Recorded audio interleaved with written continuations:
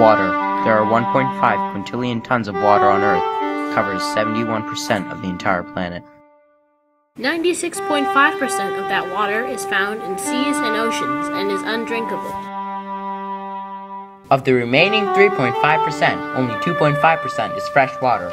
Of that, less than 0.3% is in lakes and rivers and clean and easily accessible. All life requires water to function properly. The human body is made of 60% water. Your brain is made of 70% water. And so's your heart.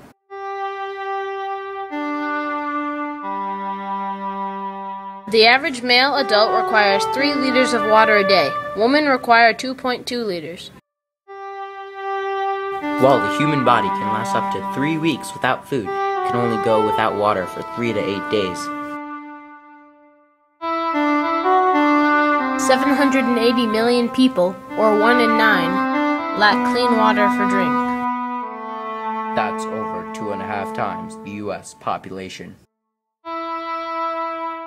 There are over 31 water related illnesses, and most of them are due to unsanitary water or contaminated water. More people have a phone than a toilet. Every 21 seconds, a child dies from a water caused illness.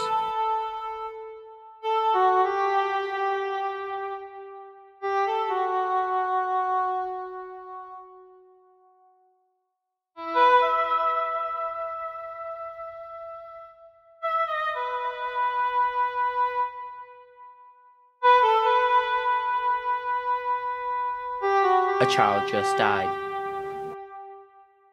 This is a worldwide problem, especially in places like South Sudan in Africa. Still, people everywhere can do something about it. There is still hope.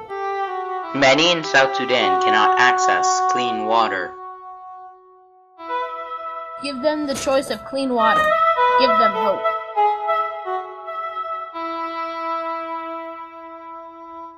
H2O for hope.